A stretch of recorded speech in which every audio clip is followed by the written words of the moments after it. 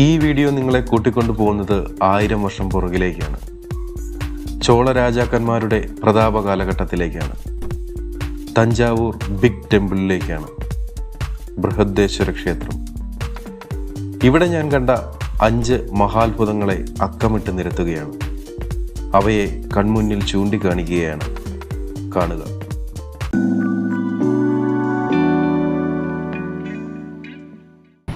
കൂട്ടുകാരെ ഹൃദയരാഗത്തിന്റെ പുതിയൊരു വീഡിയോയിലേക്ക് സ്വാഗതം. ഇന്ന് ഞാൻ നിങ്ങളെ ഒരു ഇന്ത്യൻ വിസ്മയം കാണിച്ചു തരാൻ പോവുകയാണ്. അപ്പോൾ ആരും സ്കിപ്പ് ചെയ്യാതെ ഈ വീഡിയോ മുഴുവൻ കാണണം. ഞാനങ്ങനെ ഒരു വീഡിയോയിൽ നിങ്ങളോട് പറയുന്നതല്ല സ്കിപ്പ് ചെയ്യാതെ കാണണമെന്നോ മുഴുവൻ കാണണമെന്നോ ഒന്നും. അപ്പോൾ ഈ വീഡിയോ എന്തായാലും സ്കിപ്പ് ചെയ്യാതെ മുഴുവൻ കാണണം. കാരണം മഹാ അത്ഭുതങ്ങളാണ് നിങ്ങളെ ഞാൻ കാണിക്കാൻ പോകുന്നത്. ഞാനിപ്പോൾ നിൽക്കുന്നത് തഞ്ചാവൂരിലാണ്. തഞ്ചാവൂർ ബൃഹദേശ്വര ക്ഷേത്രത്തിന് മുന്നിലാണ്. ഈ കാണുന്നതൊന്നുമല്ല ക്ഷേത്രം. ഇത് ഈ ക്ഷേത്രത്തിന്റെ ആദ്യത്തെ ഒരു പ്രവേശന കവാടം മാത്രമാണ്. ലോകത്തിനെ തന്നെ അത്ഭുതപ്പെടുത്തിക്കൊണ്ട് ശ്രീ രാജരാജേന്ദ്ര ചോളൻ മഹാരാജാവ് ആയിരം വർഷങ്ങൾക്ക് മുമ്പേ പണി കഴിപ്പിച്ച ഈ ക്ഷേത്രത്തിലെ അത്ഭുതങ്ങൾ നിരവധി നിങ്ങളെ കാണിച്ചു തരാനുണ്ട്. അപ്പോൾ നമുക്ക് ക്ഷേത്രത്തിനടുത്തേക്ക് പോകാം. അപ്പം ഞാനിപ്പോൾ നിന്നത് ക്ഷേത്രത്തിന് തൊട്ട് മുമ്പിൽ റോഡിന് മറുവശത്തുള്ള പാർക്കിംഗ് ഗ്രൗണ്ടിലാണ്. അപ്പോൾ നമുക്ക് റോഡ് ക്രോസ് ചെയ്ത് വേണം ക്ഷേത്രത്തിനടുത്തേക്ക് പോകാനായിട്ട്. അപ്പോൾ ആദ്യം ഈ ക്ഷേത്രത്തിന്റെ മുറ്റത്തേക്ക് മുറ്റമായിട്ടില്ല ഇങ്ങോട്ട് വരുമ്പം തന്നെ നമുക്ക് കാണാൻ സാധിക്കുന്നത് ഇവിടുത്തെ പ്രൊട്ടക്ഷൻ ലെയറുകളാണ് ട്രിപ്പിൾ ലെയർ പ്രൊട്ടക്ഷൻ എന്നൊക്കെ പറയുന്ന പോലെ ട്രിപ്പിൾ ലെയർ അല്ല അതിലും മേലിലാണ് ഇവിടുത്തെ പ്രൊട്ടക്ഷൻ ആദ്യം തന്നെ കണ്ടോ ഇവിടെ ഒരു വലിയ ട്രെഞ്ച് രൂപപ്പെടുത്തിയിരിക്കുകയാണ്. അതിനിപ്പുറത്തെ വലിയൊരു മതിൽക്കെട്ട് കാണാം. അത് മെയിൻ ക്ഷേത്രത്തിന്റെ മതിൽക്കെട്ടൊന്നും അല്ല കേട്ടോ ഇത് സുരക്ഷയ്ക്കായിട്ട് മാത്രം ഒരുക്കിയിരിക്കുന്ന ഒരു മതിൽക്കെട്ടാണ്. അപ്പോൾ ഇതിനപ്പുറത്തേക്കാണ് ക്ഷേത്രത്തിന്റെ മതിൽക്കെട്ടുകളൊക്കെ വരുന്നത്. നമുക്ക് എന്തായാലും പോയി നോക്കാം. ഇതിനുള്ളിൽ ഓരോരോ ഗോപുരങ്ങൾ കടന്ന് രണ്ടോ മൂന്നോ ഗോപുരങ്ങൾ കടന്ന് വേണം നമുക്ക് ഇതിനുള്ളിലേക്ക് ചെല്ലാനായിട്ട്. അപ്പോൾ ഇതൊരു ക്ഷേത്രമായതുകൊണ്ട് തന്നെ ഇങ്ങോട്ട് പ്രവേശിക്കുന്നത് ആദ്യം ഗണപതിയെ തൊഴുതുകൊണ്ടായിരിക്കണം. അപ്പോൾ ഗണപതിയുടെ ഒരു ചെറിയ കല്ലിൽ കൊത്തിയ വിഗ്രഹം തുടക്കത്തിൽ തന്നെ ആദ്യം നമുക്ക് കാണാൻ സാധിക്കുന്നുണ്ട്. പിന്നെ ഇതിനപ്പുറത്തായിട്ട് എന്തോ ഒരു വിഗ്രഹമുണ്ട്. അത് ആരാന്ന് നോക്കാം. ഏതോ ഒരു ദേവന്റെ വിഗ്രഹമാണെന്ന് തോന്നുന്നു. നമുക്ക് ഏതായാലും ഉള്ളിലേക്ക് കിടക്കാം.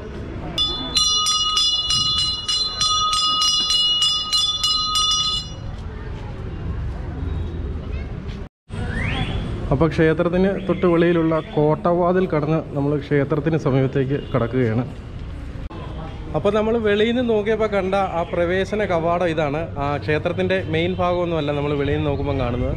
അപ്പം ആദ്യത്തെ ഈ കോട്ടവാതിൽ കടന്ന് ആദ്യത്തെ പ്രവേശന കവാടത്തിലേക്ക് എത്തിയിരിക്കുകയാണ്. ഇത് തമ്മിലുള്ള ഡിസ്റ്റൻസ് എന്ന് പറഞ്ഞാൽ വളരെ കുറവാണ്. ഇവിടെ ഒരു കുറച്ച് ഏരിയയേ ഉള്ളൂ. ഈ കോട്ടമതിലിന് കണ്ടോ? കോട്ടമതിൽ എന്ന് പറഞ്ഞാൽ പണ്ട് സൈന്യങ്ങൾക്കൊക്കെ കയറി നിൽക്കുന്നതിനായിരിക്കും. ഇതുപോലെ സ്റ്റെപ്പുകളും അങ്ങനെ ഓരോരോ പോയിന്റുകളും നിൽക്കുന്നതിനായിട്ടുള്ള ശത്രുക്കളെ നിരീക്ഷിച്ച് നിൽക്കുന്നതിനുള്ള പോയിന്റുകളൊക്കെ ആയിരുന്നിരിക്കണം.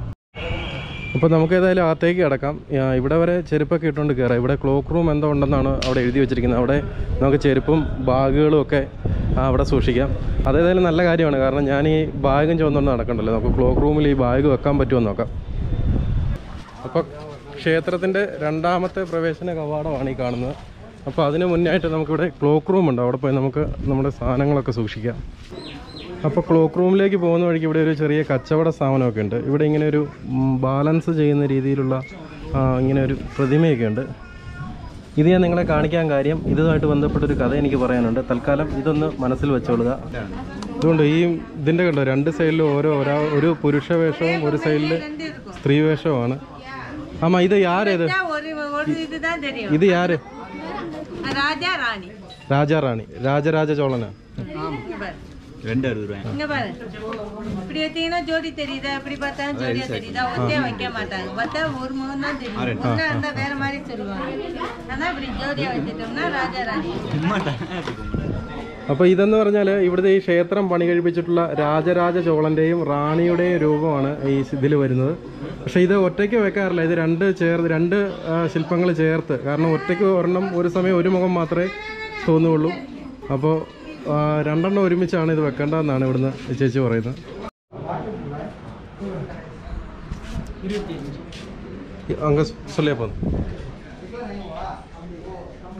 അപ്പോൾ ബാഗൊക്കെ ക്ലോക്ക് റൂമിൽ വെച്ചു. ഇങ്ങനെ ഫ്രീ ആയി.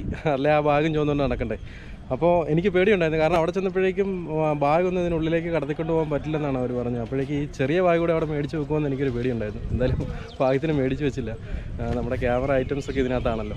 അപ്പോൾ നമ്മൾ ആദ്യം കടന്നു വന്ന പ്രവേശന കവാടത്തിന്റെ പുറകുവശമാണിത്. പുറകുവശമാണെങ്കിലും കൊത്തുപണികൾക്കൊന്നും യാതൊരു പഞ്ഞവും ഇല്ല. മുമ്പിലത്തെ പോലെ തന്നെ കൊത്തുപണികൾ നടത്തിയിട്ടുണ്ട്. വെയിലിങ്ങനെ അടിക്കുന്ന കാരണം നിങ്ങൾക്ക് അത്രയ്ക്കും കാണാൻ പറ്റുമെന്ന് തോന്നുന്നില്ല. അപ്പോൾ നമുക്ക് ഏതായാലും രണ്ടാമത്തെ പ്രവേശന കവാടം എന്ന് കടന്ന് ക്ഷേത്രത്തിനടുത്തേക്ക് തന്നെ പോവാം. ആദ്യം കണ്ട നടപ്പന്തലിന് ഏതാണ്ട് അതേ രീതിയിൽ തന്നെയുള്ള ഒരു നടപ്പന്തലാണ് രണ്ടാമത്തേതും. പക്ഷേ ഇതിന് ചുറ്റുമതിൽ ക്ഷേത്രത്തിന്റെ ചുറ്റുമതിൽ ഈ നടപ്പന്തലുമായിട്ട് ബന്ധപ്പെട്ടിട്ടാണ്. അപ്പോൾ ഞാൻ രണ്ടാമത്തെ പ്രവേശന കവാടവും കടന്ന് ആ മെയിൻ ടെമ്പിളിന്റെ ഭാഗത്തേക്ക് വന്നു. ഇവിടെ ഇങ്ങനെ അതിവിശാലമായിട്ട് കിടക്കുകയാണ്. ഇങ്ങോട്ട് വന്ന വഴിക്ക് ഒരു രസമുണ്ടായി. അപ്പോൾ രണ്ടാമത്തെ പ്രവേശന കവാടത്തിനുള്ളിലായിട്ട് കുറേ സെക്യൂരിറ്റി ചെക്കപ്പുകളൊക്കെ ഉണ്ട്. മെറ്റൽ ഡിറ്റക്ടറൊക്കെ വെച്ചിട്ട് നമ്മളെ അതിൽ കൂടെ കടത്തിവിട്ട് കയ്യിലുള്ള സാധനങ്ങളെല്ലാം ചെക്ക് ചെയ്തൊക്കെയാണ് അകത്തോട്ട് കയറുന്നത്. അപ്പോൾ ഞാൻ അങ്ങോട്ട് എത്തുന്നതിന് മുന്നേ അവരെന്നെ ദൂരെ നിന്ന് വിളിച്ചു. ഞാൻ ഓർത്ത് നമ്മുടെ ഷൂട്ടിങ് ഇവിടെ കൊണ്ട് തീർന്നു എന്ന് വിചാരിച്ച് വന്നു. പക്ഷേ അകത്ത് വന്നു കഴിഞ്ഞപ്പോഴേക്കും അവർ എന്റെ കയ്യിൽ നിന്ന് അവിടെ പിടിച്ച് വെച്ചത് എന്താണെന്ന് ചോദിച്ചു കഴിഞ്ഞാൽ നമ്മുടെ ഗോപ്രോ ഉപയോഗിക്കുന്ന കൊച്ചു സ്റ്റാൻഡാണ്. അപ്പം സ്റ്റാൻഡ് ഡ്രോണോ ഒന്നും ഇതിനുള്ളിൽ ഉപയോഗിക്കാൻ പാടില്ല. ക്യാമറ ഒക്കെ ഉപയോഗിക്കാം. എന്റെ ബാഗെല്ലാം തുറന്നു നോക്കി ഇതിനകത്ത് ഹാൻഡി ക്യാമറ ഒക്കെ ഉണ്ട്. പക്ഷെ അതിനൊന്നും അവർക്ക് ഒരു കുഴപ്പമില്ല. സ്റ്റാൻഡ് മാത്രം തിരിച്ചു പോകാൻ മേടിച്ചോളാൻ പറഞ്ഞ് അവിടെ വെച്ചേക്കാണ്. ആ കൊച്ചൊരു സ്റ്റാൻഡ് മാത്രം. അപ്പം എന്തായാലും ഷൂട്ടിംഗ് തടസ്സപ്പെടുന്നില്ല. എങ്കിലും സ്റ്റാൻഡ് ഇല്ലാതെ ഇനിയും ഈ അവസ്ഥയിൽ ഈ ഗോപ്രോ ഉപയോഗിക്കാനായിട്ട് ഭയങ്കര പാടാണ്. അത് വെച്ച് എങ്ങനെ വ്ളോഗ് ചെയ്യുമെന്ന് അറിയില്ല. എന്തായാലും നമുക്ക് നോക്കാം. എന്തായാലും ഇതെങ്കിലും നടക്കുന്നുണ്ടല്ലോ. അപ്പോൾ ഇതിനുള്ളിൽ നിന്ന് കഴിഞ്ഞാൽ ആദ്യം നമുക്ക് റൈറ്റ് സൈഡിലായിട്ട് ഇതിനുള്ളിൽ നമ്മൾ രണ്ടാമത്തെ പ്രവേശന കവാടം കടന്ന് ഇങ്ങോട്ട് കയറി വന്നപ്പോഴേക്കും റൈറ്റ് സൈഡിൽ ഇവിടെ ഒരു കൽ മണ്ഡപം നമുക്ക് കാണാം. അപ്പോൾ അതിനിപ്പുറത്തായിട്ട് കണ്ടു ഇവിടെ വലിയൊരു ക്ഷേത്രം ആ മെയിൻ മെയിൻ ക്ഷേത്രത്തിന് ഇവിടെ ഉണ്ട്. അത് പെരിയനായകി ടെമ്പിളാണ് പാർവതി ദേവിയുടെ ടെമ്പിളാണ് ഇവിടെ ഈ കാണുന്നത്. അപ്പോൾ ഇവിടെ ഒരു കൽ മണ്ഡപത്തിൽ ഒരു കൽ പന്തലിൽ വലിയൊരു നന്ദി വിഗ്രഹമുണ്ട്. അപ്പോൾ ഇവിടെ വരുന്നവർ ആദ്യം കാണേണ്ടത് ഈ നന്ദി വിഗ്രഹമാണെന്നാണ് പറയുന്നത്. അപ്പോൾ അതിനുശേഷം വേണം നമുക്ക് ഇവിടുത്തെ മറ്റ് കാഴ്ചകൾ ഇപ്പം ഞാൻ വന്ന നിന്ന സ്ഥലത്തൊക്കെ ഒരുപാട് കാഴ്ചകളുണ്ട് നമുക്ക്. ആദ്യം ഈ ഒറ്റക്കല്ലിൽ തീർത്തിട്ടുള്ള ഈ നന്ദി വിഗ്രഹം കണ്ടിട്ട് ഉണ്ട് കല്ലുകൊണ്ടുള്ള പന്തലാണ് കേട്ടോ. അതിന്റെ മേൽക്കൂര വരെ കല്ലാണ്. ശിവ ശിവ എന്ന് എഴുതിയിട്ടുണ്ട്.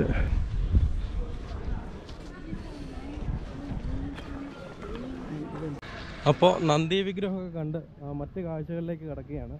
ഒരു ഒറ്റ അതിന്റെ മുകളിലൊക്കെ ആയാലും നല്ല ചിത്രപ്പണികളൊക്കെ ചെയ്തു വെച്ചിട്ടുണ്ട്. അന്നത്തെ കാലത്തെ ചിത്രപ്പണികൾ തന്നെയാണ്. ഏതാണ്ട് ആയിരം വർഷത്തിലധികം പഴക്കമുള്ള ചിത്രപ്പണികൾ തന്നെയാണ്. ഇത് ആർക്കിയോളജിക്കൽ സർവേ ഓഫ് ഇന്ത്യയുടെ കീഴിലുള്ള ഒരു ക്ഷേത്രമാണ് ഇപ്പം നിലവിൽ. അവരാണ് ഇത് സംരക്ഷിച്ചു പോരുന്നത്. ആർക്കിയോളജിക്കൽ സർവേ ഓഫ് ഇന്ത്യയുടെ കീഴിലാണെങ്കിലും ഇവിടെ നിത്യപൂജ ഒക്കെ നടക്കാറുണ്ട്. സത്യത്തിൽ അതിവിശാലമായിട്ട് ഇങ്ങനെ കിടക്കുകയാണ്. അതുകൊണ്ട് എവിടെ തുടങ്ങണമെന്നോ എവിടെ തുടങ്ങണമെന്നല്ല എവിടെ ഷൂട്ട് ചെയ്യണമെന്നോ എന്ത് കാണിക്കണമെന്നോ ആ പാടെ കൺഫ്യൂഷൻ ആയിട്ടിരിക്കുകയാണ്. ഏതായാലും നമുക്ക് ഞാൻ കുറച്ച് അത്ഭുതങ്ങൾ ഇവിടെ കാണിച്ചു തരാമെന്ന് പറഞ്ഞിരുന്നു. അപ്പം എന്തായാലും നമുക്ക് നേരെ അത്ഭുതങ്ങളിലേക്ക് കിടക്കാം. നമുക്ക് നേരെ ഈ ഈ പെരിയനായിക ക്ഷേത്രത്തിന് അപ്പുറത്തേക്ക് കിടക്കാം. നമുക്ക് മെയിൻ ടെമ്പിളിലേക്ക് കയറാൻ പറ്റുമെന്നറിയില്ല കാരണം അവിടെ അങ്ങോട്ട് ഇപ്പോൾ ആളുകളെ പ്രവേശിപ്പിക്കുന്നില്ലെന്നാണ് കേട്ടിട്ടുള്ളത്.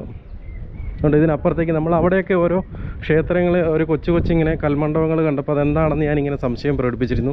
അത് ശരിക്കും ഉപദേവതകളാണ്. ഓരോ മെയിൻ പ്രതിഷ്ഠ കൂടാതെയുള്ള ഉപപ്രതിഷ്ഠകളാണ്. ഇതുകൊണ്ട് നമ്മൾ ഇങ്ങോട്ട് വന്നപ്പോഴേക്ക് ഈ തൂണുകളിലെല്ലാം ഒരുപാട് ശിലാലിഖിതങ്ങളാണ്. കണ്ട് ഇവിടെ എല്ലാം എഴുതി വച്ചിരിക്കുകയാണ്. ഇതെന്താണോ ഒന്ന് വായിക്കാൻ അറിയാമായിരുന്നെങ്കിൽ നല്ല രസകരമായേനെ. ആയതുകൊണ്ട് ഈ ഓരോ തൂണുകളും ഈ ചുറ്റിനുമുള്ള ഈ കൂറ്റൻ നടപ്പന്തലിന്റെ ഓരോ തൂണുകളും ഓരോ ഒറ്റ കല്ലിലാണ് തീർത്തിരിക്കുന്നത്.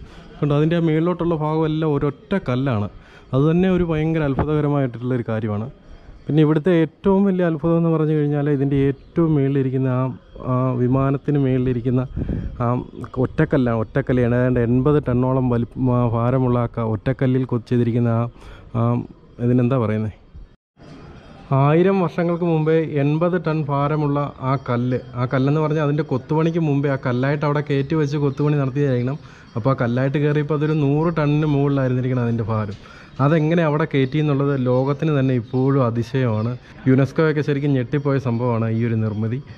സത്യത്തിൽ ഈ കല്ല് എങ്ങനെയാണ് കയറ്റിയതെന്ന് ചോദിച്ചു കഴിഞ്ഞാൽ കല്ലും മണ്ണും ഒക്കെ ഉപയോഗിച്ച് ഇങ്ങനെ ഒരു സമാന്തരമായിട്ട് താൽക്കാലികമായ ഒരു വഴി നിർമ്മിച്ചിട്ട് അതായത് ഇങ്ങനെ ഇവിടെ നിന്ന് ഇങ്ങനെ ഒരു സ്ലോപ്പ് ഇങ്ങനെ കയറി താഴേക്ക് ഇങ്ങനെ ഇറങ്ങുന്ന ഒരു വഴി നിർമ്മിച്ചിട്ട് ഏതാണ്ട് നാല് കിലോമീറ്ററോളം ദൂരം ഉണ്ടായിരുന്നാണ് പറയുന്നത്.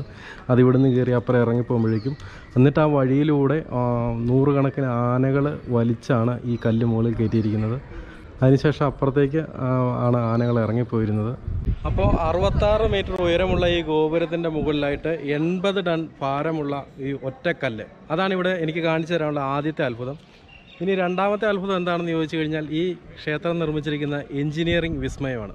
അതായത് വിദഗ്ധർ ഇത് പരിശോധിച്ച സമയത്ത് മനസ്സിലാക്കിയിട്ടുള്ളത് ഇതിന് അത്ര വലിയ ബേസ്മെന്റോ ഇത്ര വെയിറ്റ് താങ്ങുന്നതിനുള്ള ബേസ്മെന്റോ കാര്യങ്ങളോ ഒന്നും ഈ ക്ഷേത്രത്തിനായിട്ടില്ല. എങ്കിലും അത് ഇത്രമാത്രം ഇതിന് ഭയങ്കര ഈ കല്ലിൽ തീർത്തിരിക്കുന്നതുകൊണ്ട് ഭയങ്കര നമ്മുടെ കെട്ടിടം പണി പോലൊന്നുമല്ല അതിഭയങ്കരമായ വെയിറ്റാണ് ഇതിന്. എങ്കിലും അത് താങ്ങാനുള്ള ശേഷി അതിലും താങ്ങാനുള്ള ശേഷിയേക്കാൾ കൂടുതൽ പവർ ഇതിന്റെ ബേസ്മെന്റിന് ചെറുതായിട്ടുള്ള ഈ ബേസ്മെന്റിന് ഉണ്ടെന്നാണ് അപ്പോൾ എനിക്ക് ഇതിനെക്കുറിച്ച് വിശദീകരിക്കുന്നതിന് വേണ്ടിയിട്ടാണ് ഞാൻ അവിടെ കണ്ട ഒരു ബൊമ്മയുടെ ഒരു രൂപം നിങ്ങൾ ഞാൻ കാണിച്ച ആ ബൊമ്മയുടെ രൂപം നിങ്ങൾ മനസ്സിൽ സങ്കല്പിക്കുക. ഏതാണ്ട് ഇതിന്റെ ചുവട് ആ രീതിയിലാണ് പണി കഴിപ്പിച്ചിട്ടുള്ളതെന്നാണ് പറയുന്നത്. അതായത് ആ എത്ര വെയിറ്റ് അങ്ങോട്ടോ ഇങ്ങോട്ടോ വന്നാലും ഇത് ബാലൻസ് ചെയ്ത് നിൽക്കത്തക്ക രീതിയിൽ ഇങ്ങനെ ഒരു ഫ്ലോട്ട് ചെയ്ത് നിൽക്കത്തക്ക രീതിയിലാണ് ഇത് പണി കഴിപ്പിച്ചിട്ടുള്ളതെന്നാണ് പറയുന്നത്. അപ്പം അതിന്റെ ആ ഒരു വെയിറ്റ് ബാലൻസ് ചെയ്യുന്നതിന് വേണ്ടിയിട്ടാണ് ഇത്ര വലിയൊരു ഒറ്റക്കല്ല് ഇതിന്റെ മുകളിൽ കയറ്റിയിട്ടുള്ളതെന്നൊക്കെയാണ് കണ്ടെത്തിയിരിക്കുന്നത്. ഇതൊന്നും വെറുതെ പറയുന്നില്ല ഇതെല്ലാം ശാസ്ത്രീയമായി തെളിയിക്കപ്പെട്ടിട്ടുള്ള കാര്യങ്ങളാണ്. പിന്നെ മൂന്നാമത്തെ അത്ഭുതത്തെക്കുറിച്ച് പറയാം. മൂന്നാമത്തെ അത്ഭുതം എന്ന് പറഞ്ഞാൽ ഈ കല്ലുകളാണ്. ഇത്രത്തോളം കല്ലുകൾ കല്ലുകൾ ഉപയോഗിച്ച് മാത്രം മേൽക്കൂരയും തൂണുകളും ബേസ്മെന്റും എല്ലാം കല്ലിൽ മാത്രം അത് പരമാവധി ഒറ്റ കല്ലിൽ മാത്രം. ഏറ്റവും വലിയ കല്ലിൽ മാത്രം നിർമ്മിച്ചിരിക്കുന്ന ഇത് എവിടെ നിന്നാണ് ഈ കല്ലുകൾ കൊണ്ടുവന്നിരിക്കുന്നത് എന്ന കാര്യത്തിലാണ്. അതായത് ഈ ഭാഗത്തൊന്നും ഇങ്ങനെ ഇത്രമാത്രം ഇത്തരം ചുണ്ണാമ്പ് കല്ലുകൾ ലഭ്യമായിട്ടുള്ള ഒരു സ്ഥലമല്ല. അപ്പോൾ ഈ കല്ലുകൾ കൊണ്ടുവന്നിരിക്കുന്നത് എൺപത് കിലോമീറ്ററുകൾ ദൂരത്തിൽ നിന്നാണ്. ഇത്രമാത്രം അതായത് ആയിരം വർഷങ്ങൾക്ക് മുമ്പേ ഈ കട്ടിങ് ഇത്രയും എഞ്ചിനീയറിംഗ് വിദ്യകളൊന്നും ഇല്ലാത്ത സമയത്ത് ഇത്രമാത്രം കല്ലുകൾ കട്ട് ചെയ്ത് എൺപത് കിലോമീറ്ററോളം ആന വണ്ടികളിലൊക്കെ ആയിരുന്നിരിക്കണം. യഥാർത്ഥ ആന വണ്ടികളിലൊക്കെ ആയിരുന്നിരിക്കണം ഈ കല്ലുകൾ ഇവിടെ വരെ എത്തി എത്തിച്ചത്. പിന്നെ നാലാമത്തെ വിസ്മയം. നാലാമത്തെ വിസ്മയം എന്ന് പറഞ്ഞാൽ ഇതിനുള്ളിലൂടെ എല്ലാം ഇങ്ങനെ അടിയിലൂടെ എല്ലാം തുരങ്കങ്ങൾ ഉള്ളതെന്നാണ്. തുരങ്കങ്ങൾ എന്ന് പറഞ്ഞാൽ ചുമ്മാ മണ്ണ് മാന്തിയുള്ള തുരങ്കങ്ങളല്ല. രാജാവിന് ഇവിടെ തിരക്കുള്ള സമയത്തുമൊക്കെ രാജാവിന് ആരും അറിയാതെ രഹസ്യമായിട്ട് ഇവിടെ ഓരോ കോവിലിലും വന്നു പോകുന്നതിനുള്ള പ്രത്യേക അറകൾ തുരങ്കങ്ങളും ഒക്കെ ഇപ്പോഴും ഉണ്ട്. പക്ഷെ ആളുകൾ ഇറങ്ങി അപകടങ്ങൾ ഉണ്ടാക്കി വെക്കുന്നതുകൊണ്ടാവാം അതൊന്നും ഇപ്പോഴും ഓപ്പണല്ല അങ്ങനെ ആ തുരങ്കത്തിലൂടെ വരുന്ന രാജാവിനെ നമ്മൾ ബാഹുബലി സിനിമയിലൊക്കെ കാണുന്ന പോലുള്ള ലിഫ്റ്റ് സംവിധാനങ്ങൾ വരെ മുകളിലേക്ക് വരാനുള്ള ലിഫ്റ്റ് സംവിധാനങ്ങൾ വരെ ഇവിടെ ഉണ്ടായിരുന്നതാണ് കേട്ടിട്ടുള്ളത്. ഇനി എനിക്കിവിടെ കാണിക്കാനുള്ള അഞ്ചാമത്തെ അത്ഭുതം എന്ന് പറഞ്ഞാൽ ഇവിടുത്തെ കുറച്ച് ചുവർ ചിത്രങ്ങളാണ്. അതെനിക്ക് ഇതുവരെ ഇവിടെ കണ്ടെത്താനായിട്ടില്ല. എന്തായാലും ഞാനത് കണ്ടിട്ടേ ഇവിടെ നിന്ന് പോകുന്നുള്ളൂ. അപ്പോൾ അത് കാണുന്ന മുറയ്ക്ക് അതിനെക്കുറിച്ചുള്ള കാര്യങ്ങൾ പറയാം.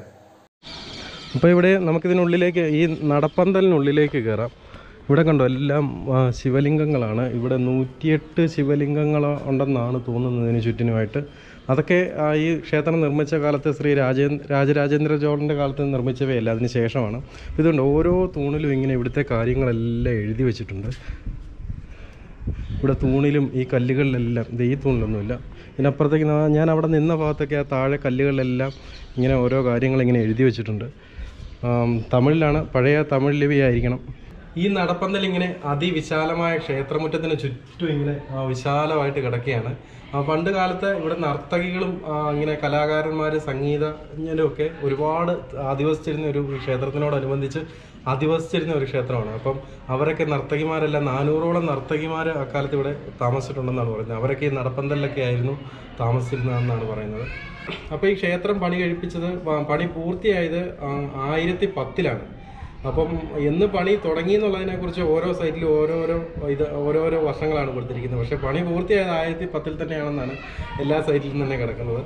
അപ്പം അന്നത്തെ ഒരു കാര്യങ്ങൾ ഇപ്പോഴത്തേക്ക് ഇത് ഗവേഷണം നടത്തി എടുക്കാനായിട്ട് ഇപ്പോഴത്തെ പരിവേഷണം നടത്തുന്ന ആളുകൾക്ക് ഇവിടെ വലിയ ബുദ്ധിമുട്ടുണ്ടാവില്ല. കാരണം ഇവിടുത്തെ പ്രധാന കാര്യങ്ങളെല്ലാം ഇവിടുത്തെ ഓരോ ശിലകളിൽ ഇങ്ങനെ എഴുതി തന്നെ വെച്ചിരിക്കുന്നത് കൊണ്ട് അവർക്കൊരു ബുദ്ധിമുട്ടും ഉണ്ടായിരുന്നില്ല. പിന്നെ ഈ ക്ഷേത്രം ചോള രാജാക്കന്മാരുടെ ഏറ്റവും പ്രതാപകാലത്ത് ഖജനാവിൽ നിന്നും ധാരാളം പണം ഇങ്ങനെ വാരിക്കോരി ഒഴുക്കി നിർമ്മിച്ചിരിക്കുന്ന ഒരു ക്ഷേത്രമാണ്. അങ്ങനെ അവർ പല ഭാഗത്തും ഒരുപാട് നിർമ്മിതികൾ നടത്തിയിരുന്നെങ്കിലും ഇന്നും അതേ രീതിയിൽ അവശേഷിക്കുന്നത് ഈ ക്ഷേത്രം മാത്രമാണ്. നമ്മൾ ഈ ബാഹുബലി സിനിമയിലെ മഹിഷ്മതി എന്ന സാങ്കല്പിക രാജ്യത്തിന്റെ അവിടുത്തെ ആ സെറ്റപ്പ് ഒക്കെ കണ്ട് നമ്മൾ ശരിക്കും അതിശയിച്ച് പോയിട്ടുണ്ടാവും. ശരിക്കും ഇങ്ങനൊരു സംഭവത്തും പണ്ട് കാലത്ത് ഉണ്ടായിരുന്നില്ല എന്നായിരിക്കും നമ്മുടെ പലരുടെയും ചിന്ത. പക്ഷേ ഏതാണ്ട് അതിനോടൊത്ത് അല്ലെങ്കിൽ അതിലും മേളിലായിരുന്നു ഇവിടുത്തെ രാജരാജേന്ദ്ര ചോളന്റെ കാലത്തൊക്കെ ഇവിടുത്തെ ഒരു അവസ്ഥ. ആ മഹിഴ്മതിയെക്കാളിലും നമ്മളാ കാണുന്ന സാങ്കല്പിക രാജ്യമായ മഹിഴ്മതിയെക്കാളിലും ഒക്കെ ഒരുപാട് ടോപ്പിലായിരുന്നു ഇവിടുത്തെ ജീ രാജജീവിതം. അദ്ദേഹം ഒരു നല്ല രാജാവായിരുന്നു എന്നതിന്റെ തെളിവ് തന്നെയാണ്. ഈ ക്ഷേത്ര നിർമ്മാണത്തിന്റെ ഈ കൂറ്റൻ ക്ഷേത്ര നിർമ്മാണത്തിന്റെ ഫുൾ ക്രെഡിറ്റ് ഒന്നും അദ്ദേഹം ഏൽക്കാതെ ഇതിന്റെ നിർമ്മാണത്തിൽ ഓരോരോ ഘട്ടത്തിൽ ഓരോരോ മേഖലകളിൽ ചുമതല വഹിച്ചിരുന്ന ആളുകളുടെ ആ പേരുകളെല്ലാം അവരുടെ ക്രെഡിറ്റ് എല്ലാം ഇവിടെ എഴുതി വെച്ചിട്ടുണ്ട് ഓരോ തൂണുകളിലും. ഞാൻ കുറേ അധിക സമയമായി നമ്മൾ മുമ്പേ നിന്നിരുന്ന അതിന്റെ അപ്പുറത്തെ സൈഡിൽ അതിന്റെ ഇപ്പുറത്തെ സൈഡിൽ വന്ന് ഇവിടെ ഇങ്ങനെ ഒരു ചെറിയൊരു പുൽമൈതാനമൊക്കെ ഉണ്ട്. ഇവിടെ കുറേ സമയമായിട്ട് ഞാൻ ഇവിടെ ഇരുന്ന് വിശ്രമിക്കുകയാണ് വെള്ളമൊക്കെ കുടിച്ച്. അപ്പോൾ ഇനി നമുക്ക് അങ്ങോട്ട് പോകാം ഞാൻ അങ്ങോട്ടൊന്നും പോകുന്നില്ലെന്ന് കരുതിയതാണ്. പക്ഷേ ഇതുവരെ എനിക്ക് ആ ചുവർചിത്രം ഇവിടെ കണ്ടെത്താൻ സാധിച്ചിട്ടില്ല. അപ്പോൾ മിക്കവാറും ഇത് ആ ഭാഗത്ത് വല്ലതും ആയിരിക്കണം. അപ്പോൾ എന്തായാലും ഇനി അങ്ങോട്ട് പോകാൻ അങ്ങോട്ട് പോകാതെ നിവർത്തിയില്ല. വെയിലടിച്ചിട്ട് ഈ തറയെല്ലാം ചുട്ടുപഴുത്ത് കിടക്കുകയാണ്. കാലങ്ങനെ കുത്താനേ പറ്റില്ല. അതുകൊണ്ട് ആൾക്കാർക്ക് നടന്നു പോകാനായിട്ട് കയറുകൊണ്ടുള്ളൊരു മാറ്റൊക്കെ ഇവിടെ വിരിച്ചിട്ടുണ്ട്. നമ്മളേതായാലും ഈ പുൽമൈതാനത്തോടി തന്നെ അപ്പുറം വരെ പോകാൻ പറ്റുമോ നോക്കാം. ഈ കൽമണ്ഡപത്തിലൂടെയൊക്കെ നിരവധി ആളുകൾ വിശ്രമിക്കുന്നുണ്ട്. വെയിലായതുകൊണ്ട് നല്ല തണുപ്പാണ് അതിനകത്ത് കയറിയിരിക്കാനായിട്ട്. ഇതിനകത്തൊരു കൂറ്റൻ മരത്തിന്റെ തൂണൊക്കെ കിടപ്പുണ്ട്. ഇവിടെ എന്തോ ഒരു കൊച്ച് ഈ ഭാഗത്ത് മാത്രം ഇവിടെ എന്തോ ഒരു പ്രത്യേക പൂജ നടക്കുന്നുണ്ട് കേട്ടോ. എന്ത് പൂജയാണെന്ന് അറിയില്ല. ഇന്നെന്തോ ഒരു പ്രത്യേക ദിവസമാണെന്ന് തോന്നുന്നു. അതുകൊണ്ട് തേങ്ങാമുറിയിൽ വിളക്കൊക്കെ വെച്ച്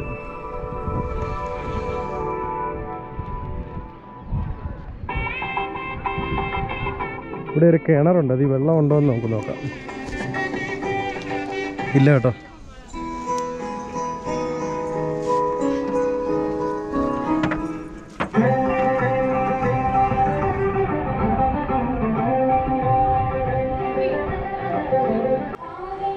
അപ്പം നമ്മൾ അപ്പുറത്ത് കണ്ട പോലുള്ള നടപ്പന്തൽ ഇപ്പറേ വന്നപ്പോഴേക്കും ഇവിടെ ഇങ്ങനെ പീഠങ്ങൾ പോലെ കല്ലുകൊണ്ടുള്ള ഓരോന്നിങ്ങനെ ഓരോ തൂണിന്റെയും ചോട്ടി കൂടെ കിടപ്പുണ്ട്.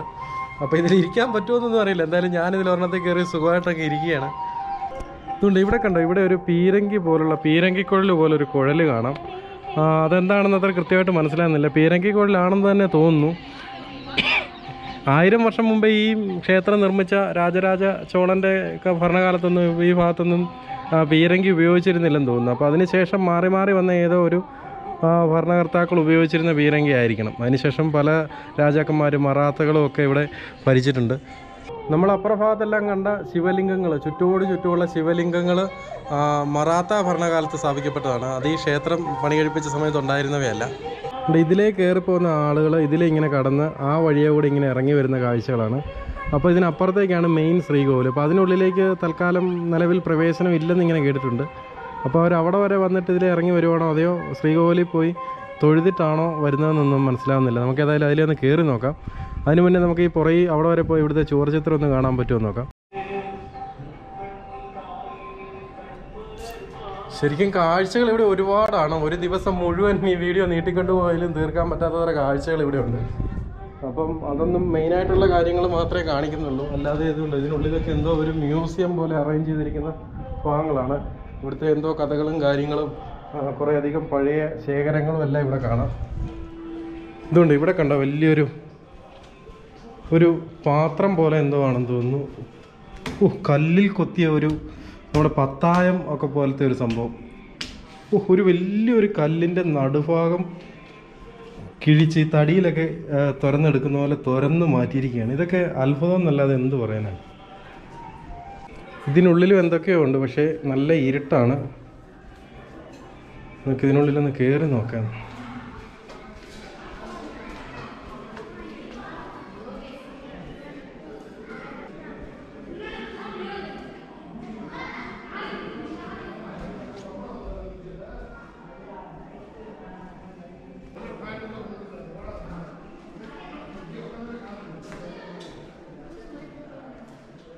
ഇവിടെ ഇങ്ങനെ ഈ മ്യൂസിയം പോലുള്ള ഭാഗത്ത് ആയിരത്തി തൊള്ളായിരത്തി അമ്പതിലെയും ആയിരത്തി തൊള്ളായിരത്തി മുപ്പതിലെയൊക്കെ കുറേ ഫോട്ടോസും അതിനുശേഷം തകർന്നു പോയിരിക്കുന്ന ഈ ക്ഷേത്രങ്ങളൊക്കെ പുതുക്കി പുതുക്കിപ്പറന്നതിന് ശേഷം രണ്ടായിരത്തി അഞ്ചിലെടുത്ത ഫോട്ടോസ് നമ്മയിൽ കമ്പയർ ചെയ്തുള്ള നിരവധി ഫോട്ടോസ് കൊടുത്തിട്ടുണ്ട്. എന്നാൽ ഈ ഫോട്ടോസ് ഒന്നും ഈ ബൃഹദേശ്വര ക്ഷേത്രമല്ല ഇതൊക്കെ വേറെ ഏതോ ഒരു ടെമ്പിളിന്റെ പല പല ടെമ്പിളുകളുടെ ഫോട്ടോസാണ്. ഇത് ഏതൊക്കെ ടെമ്പിളാണെന്നൊന്നും ഇവിടെ എഴുതിയൊന്നും വെച്ചിട്ടില്ല. ശരിക്കും കൗതുകകരമായ ഒരു കാഴ്ചയാണ്. ഇതുണ്ട് ആയിരത്തി തൊള്ളായിരത്തി അമ്പത്തൊമ്പ അമ്പതിലെ അവസ്ഥ രണ്ടായിരത്തിലെ അവസ്ഥ രണ്ടായിരത്തി അഞ്ചിലെ അവസ്ഥ ഇങ്ങനെ കമ്പയർ കമ്പയർ ചെയ്തുള്ള ഫോട്ടോസ് പക്ഷെ ഇതൊന്നും ഈ ക്ഷേത്രമല്ല കേട്ടോ. ഇതെല്ലാം വേറെ ഏതോ ക്ഷേത്രമാണ്. ഈ മ്യൂസിയം പോലുള്ള ഭാഗത്ത് പഴയ കാലത്തെ കുറേ അധികം പെയിന്റിങ്ങുകൾ ഇവിടെ ഇങ്ങനെ ചിത്ര പ്രദർശിപ്പിച്ചിട്ടുണ്ട്. അപ്പം നമ്മൾ തേടിപ്പോയ പെയിന്റിങ്ങുകൾ ഇതല്ല. നമ്മൾ തേടിപ്പോയ പെയിന്റിങ്ങുകൾ ചുവർ ചിത്രങ്ങളാണ്. ഇതെന്ന് പറഞ്ഞാൽ ഒരു ഫ്രെയിമിൽ ഒരുക്കിയിരിക്കുന്ന കല്ലിലുള്ള കല്ലിൽ വരച്ചിരിക്കുന്ന ചിത്രങ്ങൾ തന്നെയാണ്. അതൊരു ഫ്രെയിമിൽ പ്രദർശിപ്പിച്ചിരിക്കുന്ന രീതിയിലാണ് ഇവിടെ കാണുന്നത്. ഇതല്ല നമ്മൾ അന്വേഷിച്ചു പോയത്. പക്ക ക്ഷേത്ര ചുവരുകളിൽ വരച്ചിരിക്കുന്ന പെയിന്റിങ്സ് ആണ്. ഇതുണ്ട്. ഇവിടെ ഇങ്ങനെ ഒരു കൊച്ചു ശ്രീകോവിൽ പോലൊക്കെ ഉണ്ട്. അവിടെയൊക്കെ ആളുകൾ കയറിപ്പോയി തൊഴുതിട്ട് തിരിച്ചിറങ്ങി വരുന്ന കാഴ്ചകൾ. അതിനുള്ളിൽ നിന്ന് ഇറങ്ങി വരുന്നതല്ല കേട്ടോ. ഇതിലെ തന്നെ കയറിപ്പോയിട്ട് ഇതിന്റെ ഇങ്ങേ മൂലയിലേക്ക് വന്നപ്പോഴേക്കും ഇവിടെ ഭയങ്കര തിരക്ക് അനുഭവപ്പെടുകയാണ്. ഇതുണ്ട്. ഇതിന്റെ ഏറ്റവും പുറകിലേക്ക് വന്നപ്പോഴേക്കും ഇതുണ്ട്. ഇവിടെയൊക്കെ ഉള്ള ശിലാലിഖിതങ്ങൾ എന്ന് പറഞ്ഞാൽ ഹിന്ദി ഭാഷയോട് സാമ്യമുള്ള ഏതോ ഒരു ഭാഷയാണ്. തമിഴല്ല. ഈ തൂണിലൊക്കെ തമിഴാണ്. അപ്പോൾ അതിന് ശേഷം മാറി വന്ന ഏതോ ഭരണകൂടം എഴുതിയിരിക്കുന്ന ശിലാലിഖിതങ്ങളാണ് ഇതൊക്കെ. മറാത്ത വംശജരൊക്കെ എഴുതിയിരിക്കുന്നതായിരിക്കാം. മറാത്ത രാജാവായിരുന്ന സാംബോജി പിന്നീട് എപ്പോഴോ സ്ഥാപിച്ച ഒരു നൂറ്റിയെട്ട് ശിവലിംഗങ്ങൾ ഇവിടെ ഉണ്ടെന്നാണ് കേട്ടിട്ടുള്ളത്. അവയാണെന്ന് തോന്നുന്നു. നിരനിരയായിട്ട് കുറേ ശിവലിംഗങ്ങൾ നമുക്കിവിടെ കാണാം. അങ്ങനെ ഞാൻ മെയിൻ ടെമ്പിളിന്റെ നേരെ പുറകിലെത്തിയിരിക്കുകയാണ്. അപ്പം നേരെ പുറകിലെത്തിയപ്പോൾ ഞാൻ തേടി നടന്ന പെയിന്റിങ്സ് എനിക്ക് കാണാൻ സാധിച്ചിരിക്കുകയാണ്. ഇവിടെയൊക്കെ ഇതിനുള്ളിലോട്ട് അങ്ങനെ അങ്ങോട്ടൊക്കെ ഉണ്ട് പെയിന്റിങ്സ് ഇത് ആയിരം വർഷങ്ങൾക്ക് മുമ്പേ ഈ ചോള രാജവംശ ഭരണകാലത്ത് തന്നെ വരച്ചിട്ടുള്ള പെയിന്റിങ്ങുകളാണ് അതിനുശേഷം വന്ന നായ്ക്കർ രാജവംശക്കാർ അതിന്റെ പുറത്ത് വേറെ ചുവർച്ചിത്രമൊക്കെ അതിന്റെ പുറത്ത് വരച്ചിരുന്നു. എന്നാൽ ഇപ്പം നമ്മളിവിടെ കാണുന്നത് ആ ആയിരം വർഷങ്ങൾക്ക് മുൻപേ ചോള രാജകാലത്ത് വരച്ച ചിത്രങ്ങൾ തന്നെയാണ്. കാരണം എന്ന് പറഞ്ഞാൽ ഡീസ്റ്റെക്കോ എന്ന സാങ്കേതിക വിദ്യ ഉപയോഗിച്ച് ഇന്ത്യൻ ആർക്കിയോളജിക്കൽ വകുപ്പ് ആ ചിത്രങ്ങളെ തമ്മിൽ വേർപെടുത്തിയെടുത്ത് അത് വീണ്ടും പുനഃസ്ഥാപിച്ചിരിക്കുകയാണ്. അതേ ചിത്രങ്ങൾ തന്നെ പുനഃസ്ഥാപിച്ചിരിക്കുകയാണ്. അപ്പോൾ ലോകത്താദ്യമായിട്ട് ഡീസ്റ്റെക്കോ എന്ന സാങ്കേതികവിദ്യ വിജയകരമായി പൂർത്തിയാക്കി എന്ന പേരും നമ്മുടെ ഇന്ത്യൻ ആർക്കിയോളജിക്കൽ വകുപ്പിന് ലഭിച്ചിരിക്കുകയാണ്.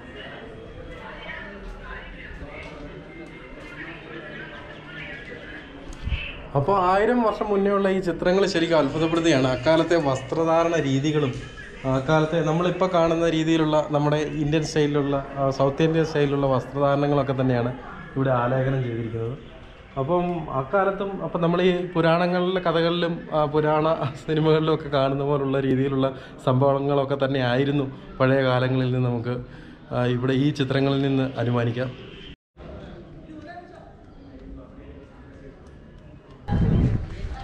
ചുട്ടുപഴുത്ത ഈ തറയോട് വാങ്ങിയിരിക്കുന്നതിൽ നടക്കാനായിട്ട് ഭയങ്കര പാടാണ്. ഞാനവിടെ വേഗം പോവാണ്. അപ്പോൾ നമ്മൾ ഇനിയും ഇവിടെ ആകെ നമുക്ക് കാണാനായിട്ടുള്ളത് കാണാനായിട്ട് ഒരുപാടുണ്ട്. ഞാൻ നിങ്ങളെ കാണിക്കാനായിട്ട് ഉദ്ദേശിക്കുന്നത് ഈ മെയിൻ ശ്രീകോവിൽ അതിനുള്ളിലേക്ക് കയറാൻ പറ്റുമെന്ന് നമുക്കൊന്ന് നോക്കാം. അപ്പോൾ നമ്മളിവിടെ ഇവിടെ ഒന്നുകൂടി പറയേണ്ടിയുണ്ട് അവസാനമായിട്ട്. കാരണം നമ്മളെപ്പോഴും വലിയ പെരുമയായിട്ട് നമ്മുടെ ഈ ഉയർച്ചയ്ക്കൊക്കെ കാരണമായിട്ട് കണക്കാക്കുന്ന ബ്രിട്ടീഷ് ഭരണകാലം. അവർ വന്നതുകൊണ്ടാണ് നമുക്ക് ഇത്രയൊക്കെ നേട്ടം ഉണ്ടായി എന്നൊക്കെ നമ്മൾ കരുതുന്നുണ്ട്. അപ്പോൾ ഒരു കാര്യം ഓർക്കുക നമ്മുടെ കാൽ പൊള്ളിയിട്ട് ഒരു രക്ഷയില്ല. അതായത് ഈ ചോള രാജഭരണകാലത്തുണ്ടായിരുന്ന ഈ നാട്ടിലുണ്ടായിരുന്ന പ്രതാപത്തിലേക്ക് അത് അതിനൊപ്പം എത്താനോ അതിന്റെ ഏഴയലത്തെത്താനോ ഈ ഇരുപത്തൊന്നാം നൂറ്റാണ്ടിൽ പോലും ഈ പ്രദേശത്തിനായിട്ടില്ല എന്നതാണ് വാസ്തവം. ഈ കല്ലിലൂടെ നടക്കാനേ പറ്റില്ല. ചൂട് ചട്ടി വഴിപ്പിച്ച് വെച്ചിരിക്കുന്ന പോലെയാണ്.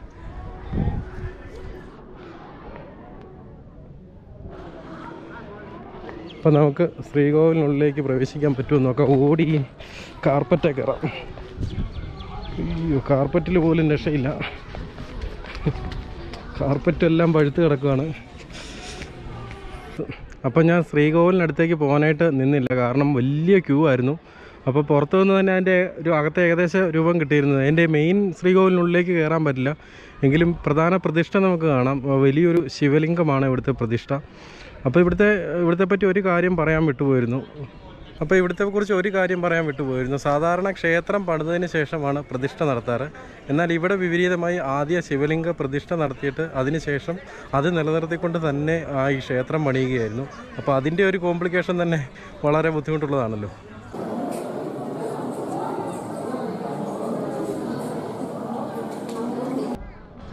സത്യം പറഞ്ഞാൽ ഇവിടെ നിന്ന് നിങ്ങളോട് ഒരുപാട് ഒരുപാട് കാര്യങ്ങൾ പറയാനുണ്ടായിരുന്നു. ഒന്നും എനിക്ക് കാണാപ്പാടം അറിയില്ല. ഞാൻ ആ ഒരു പേപ്പറിൽ ഇതെല്ലാം കുറിച്ച് നിങ്ങളോട് പറയേണ്ട കാര്യങ്ങളെല്ലാം കൃത്യമായിട്ട് കുറിച്ച് കൈ സൂക്ഷിച്ചിരുന്നു. പക്ഷേ നമ്മൾ ആ ക്ലോക്ക് റൂമിൽ സൂക്ഷിച്ച ബാഗിനുള്ളിലാണ് ആ പേപ്പറൊക്കെ ഉള്ളത്. അപ്പോൾ അതുകൊണ്ട് തന്നെയാണ് ഞാൻ കൂടുതൽ വർഷങ്ങളോ കൂടുതൽ പേരുകളോ ഒന്നും പരാമർശിക്കാതെ ഈ വീഡിയോ ഇവിടെ വരെ കൊണ്ടെത്തിച്ചത്. എന്തിനാ വെറുതെ തെറ്റ് പറഞ്ഞിട്ട് നിങ്ങളുടെ വഴക്ക് കേൾക്കുന്നതെന്ന് വിചാരിച്ചു? അടയ്ക്കയാണെങ്കിലും മടി വെക്കാം അടയ്ക്കാൻ മരമായാലോ? സത്യത്തിൽ ഈ അവസ്ഥയിലാണ് ഞാൻ ഈ വ്ളോഗ് ചെയ്തിട്ടുള്ളത്. ശരിക്കും പത്ത് മിനിറ്റ് പതിനഞ്ച് മിനിറ്റ് ടൈമിലുള്ള വ്ളോഗുകൾ മാത്രം ചെയ്ത് ശീലമുള്ള നമുക്ക് ഇങ്ങനൊരു വലിയൊരു സംഭവം മുന്നിൽ കിട്ടിയപ്പോഴേക്കും എങ്ങനെ ചെയ്യണമെന്ന് യാതൊരു ഐഡിയയും കിട്ടിയില്ല.